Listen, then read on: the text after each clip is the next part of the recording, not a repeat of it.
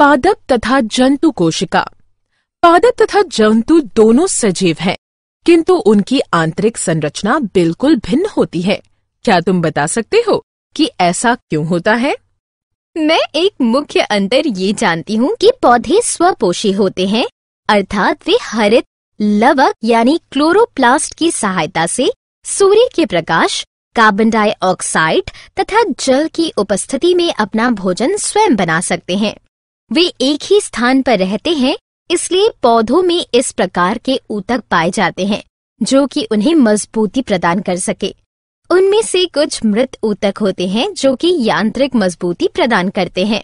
हाँ मैं जानती हूँ कि जंतु परपोषी होते हैं तथा भोजन, साथी तथा आश्रय की खोज में उन्हें इधर उधर घूमना पड़ता है। इसलिए उन्हें पौधों की तुलना में अधिक ऊर्जा की आवश्यकता होती है। इस कारण से जंतुओं की अधिकतर ऊतक जीवित होते हैं। पौधों तथा जंतुओं के बीच उनकी वृद्धि के प्रतिरूप में एक मुख्य अंतर होता है। पौधों की वृद्धि कुछ क्षेत्रों में ही सीमित रहती है। हाँ किंतु जंतुओं में उन स्थानों पर वृद्धि सीमित नहीं होती तथा इनमें वृद्धि नियमित रहती है।